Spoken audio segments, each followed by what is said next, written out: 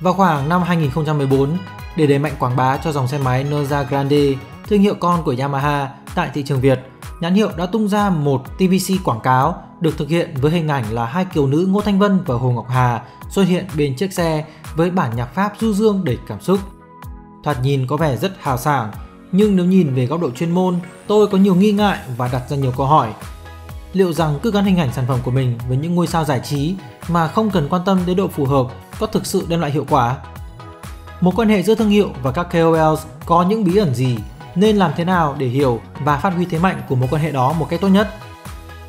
Bài viết của tác giả Hoàng Tùng đã được đăng tải trên website Spider Room sẽ phân tích mối quan hệ giữa thương hiệu và KOL. Chúng ta hãy cùng bắt đầu nhé!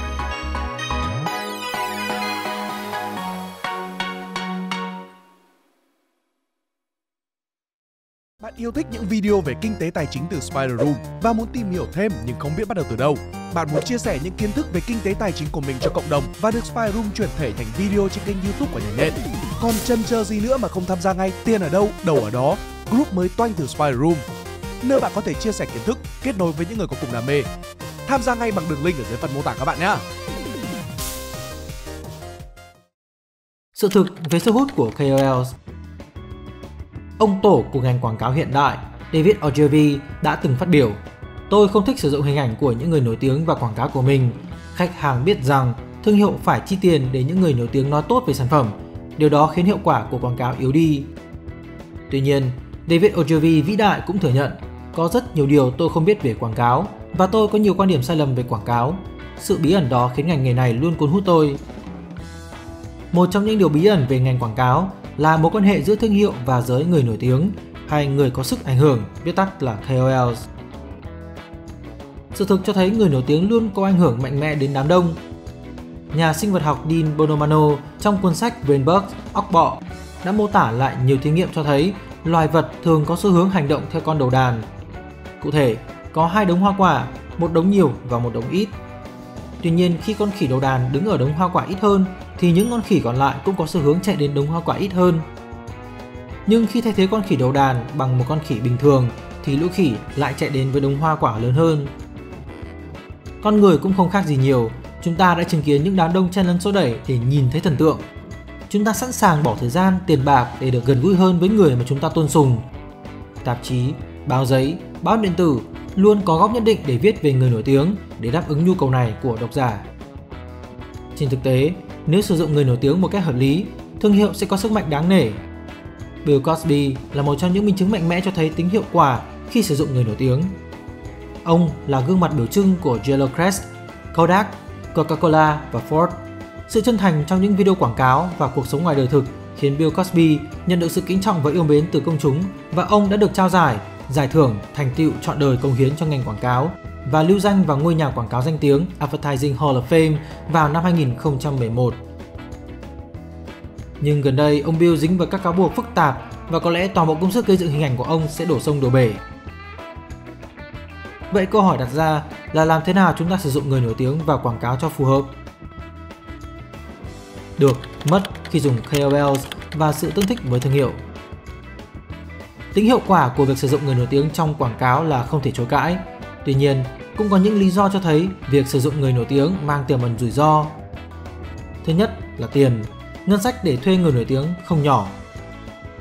Thứ hai là lòng tin. Người tiêu dùng có thể yêu thích người nổi tiếng nhưng chưa chắc đã tin những điều người nổi tiếng nói. Rất nhiều người thích giọng ca của Ngọc Sơn hay Đàm Vĩnh Hưng nhưng dị ứng với những điều ông Hoàng Nhạc Xến và ông Hoàng Nhạc Hiệu này phát biểu. Thứ ba là tính ổn định. Rất nhiều người nổi tiếng có tính khí thất thường và có thể rơi vào scandal bất cứ lúc nào và đó là khi thương hiệu sẽ chịu ảnh hưởng tiêu cực theo.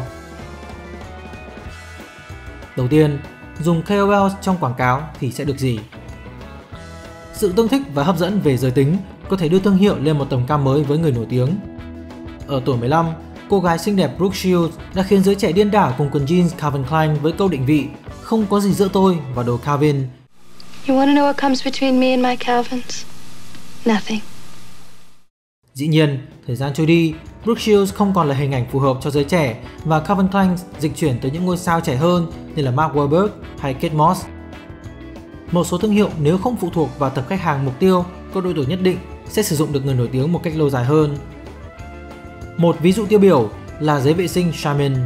Trong vòng 25 năm từ năm 1965 cho đến 1990, diễn viên Dick Wilson đã đóng vai Mr. Whipple, một người bán hàng luôn không thể cưỡng lại việc vò giấy vệ sinh Charmin với câu định vị nổi tiếng Xin đừng vò Charmin.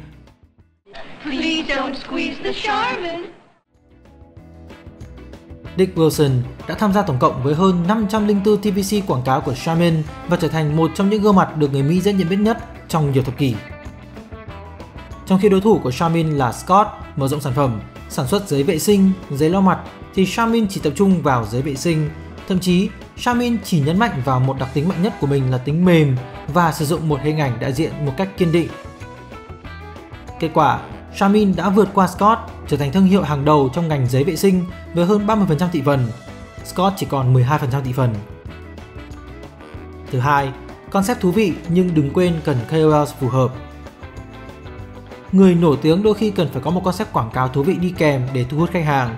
Một trong những ví dụ điển hình là Maytag với chủ đề quảng cáo Người sửa máy cô đơn, Lonely Repairman. Tới năm 1967, lần lượt những ngôi sao giải trí như là Jesse White, Gordon Jump và Clay R. Jackson thay nhau đóng vai người sửa máy cô đơn trong các chiến dịch quảng cáo của Maytag với hàm nghĩa Máy của Maytag quá tốt nên thợ sửa bảo hành của Maytag rất cô đơn, một chủ đề rất thú vị. Nhưng sử dụng người nổi tiếng trong các chiến dịch quảng cáo sẽ gây hậu quả nếu người đó có cá tính đối nghịch với thương hiệu. Năm 2000, Dell quyết tâm dấn thân vào thị trường máy tính cá nhân với hình ảnh chàng sinh viên trẻ trung Benjamin Curtis trong chiến dịch Anh bạn, cậu cần có máy Dell Dude, you're getting a Dell. Easy to buy, easy to own, easy as Dell. Chiến dịch của Dell sau này bị thất bại nặng nề bởi Benjamin Curtis bị cảnh sát bắt do dùng chất ma túy 3 năm sau đó.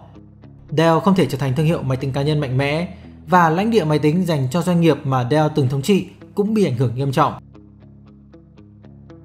Hãy xem thử trường hợp của Tiger Woods. Theo tạp chí Golf Digits, tay cự phách này đã kiếm được khoảng 951 triệu USD nhờ quảng cáo và làm hình ảnh đại diện cho các thương hiệu, thu nhập sấp xỉ 63 triệu USD mỗi năm. Vấn đề 1. Thuê người nổi tiếng cần rất nhiều tiền. Nhãn hiệu Buick của GM đã mạnh tay chi tiền thuê Tiger Woods làm hình ảnh đại diện cho thương hiệu của mình. Một người thành công tột đỉnh như Woods đi xe Buick, ý tưởng có vẻ tốt. Tuy nhiên, dòng xe Buick là dành cho người có thu nhập trung bình khá. Một người như Tiger Woods sở hữu du thuyền 20 triệu đô, ở căn nhà 40 triệu đô với sân golf riêng trong nhà thì sẽ đi một chiếc xe như Buick á, khá khó tin. Trên thực tế, kể cả khi có sự có mặt của Tiger Woods, doanh số của Buick vẫn giảm từ 450.000 chiếc một năm từ năm 2002 xuống còn 140.000 chiếc một năm năm 2008 tại thị trường Mỹ. Tuy Tiger Woods thất bại ở trường hợp Buick, nhưng anh lại rất thành công khi đại diện cho những thương hiệu khác như Nike, Accenture. Cho đến khi anh vướng vào scandal tình dục và bị hàng loạt thương hiệu cắt hợp đồng. Hãng burger đứng thứ 5 thế giới Carl's Jr. từng thuê cô nàng hư hỏng Paris Hilton đóng trong TVC quảng cáo của mình. TVC mô tả Paris Hilton mặc đồ tắm, uốn éo rửa xe với hàng loạt hành động cực kỳ gợi cảm và ăn bánh burger của Carl's Jr. TVC đó chắc chắn hấp dẫn người xem, đặc biệt là phái mạnh. Tuy nhiên, sự liên tưởng là gì? Chẳng là gì. Có logic không khi một cô nàng con của đại gia tỷ phú ăn chơi như là Paris Hilton tự rửa xe cho mình? Còn phi logic hơn nữa, bởi liệu từ khi nào người ta ăn bánh burger và uốn éo rửa xe trong bộ đồ tắm? Trở lại với trường hợp thương hiệu Noza Grande của Yamaha, nó cũng vướng phải vấn đề tương thích giữa cá tính thương hiệu và cá tính nhân hiệu khi sử dụng Hồ Ngọc Hà hay Ngô Thanh Vân trong TVC quảng cáo của mình. Vợ của một anh chàng sở hữu hàng loạt siêu xe ở biệt thự triệu đô lúc bây giờ như Hà Hồ, liệu sẽ đi xe gì? Xe hơi hay là xe máy? Bạn hãy tự trả lời. Và đó là những phân tích nhận định của tác giả Hoàng Tùng.